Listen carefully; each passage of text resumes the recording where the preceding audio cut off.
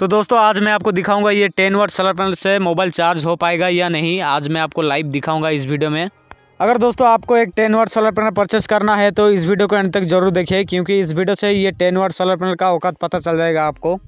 ये है दोस्तों सोलर पैनल का वायर और अभी मैं ये सोलर पैनल का वोल्टेज चेक करके मैं आपको दिखा देता हूँ।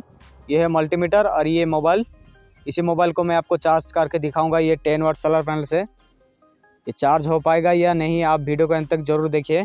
तो दोस्तों, अभी मैं आपको सोलर पैनल का वोल्टेज दिखा देता हूँ। वोल्टेज देखने के लिए आपको डीसी 200 वोल्ट पर सेट करना है मल्टीमीटर को।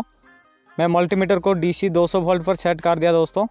तो आप देख सकते हैं voltage 10 watt solar panel 20 volt provide कर रहा है अभी। तो काफ़ी बढ़िया वोल्टेज है दोस्तों।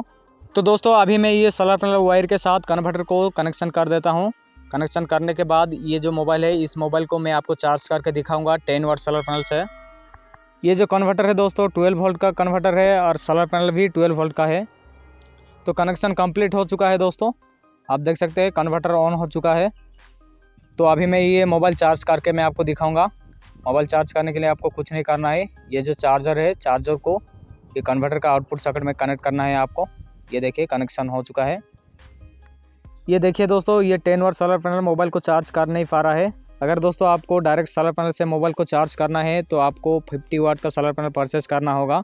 अगर आप डायरेक्ट सोलर पैनल से मोबाइल को चार्ज करने के लिए आपको बक कन्वर्टर का इस्तेमाल करना चाहिए, नहीं तो आपका कन्वर्टर जो है ख़राब हो जाएगा दोस्तों। दोस्तों, इसी सोलर पैनल से आप DC LED light DC fan चला सकते हैं 12 वोल्ट का, लेकिन आप इस तरफ़ डायरेक्ट सोलर पैनल से मोबाइल को चार्ज करना है तो आपको 40 या 50 वाट का सोलर पैनल परचेस करना होगा दोस्तों, तभी आपका मोबाइल चार्ज हो पाएगा डायरेक्ट सोलर पैनल से। तो दोस्तों, आज के लिए इतना ही। वीडियो अच्छा लगा तो लाइक कर दीजिए और चैनल पर फ़र्स्ट टाइम है तो सब्सक्राइब कर दीजिए। मिलते हैं अगले वीडियो में। तब तक के लिए जय हिंद, वंदे मातरम।